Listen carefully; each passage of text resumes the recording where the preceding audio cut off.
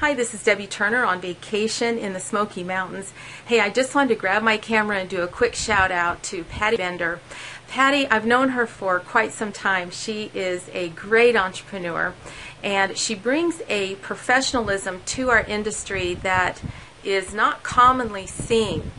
You know, there's so much hype and drama and all of this and that in the, in the industry, and Patty just being that she's got a professional background in real estate, she brings those skill sets and the mindset of doing things the right way without the hype and drama. And she's a great person to connect to. If you're looking to get started online in a business or you have questions, I highly recommend you get a hold of Patty.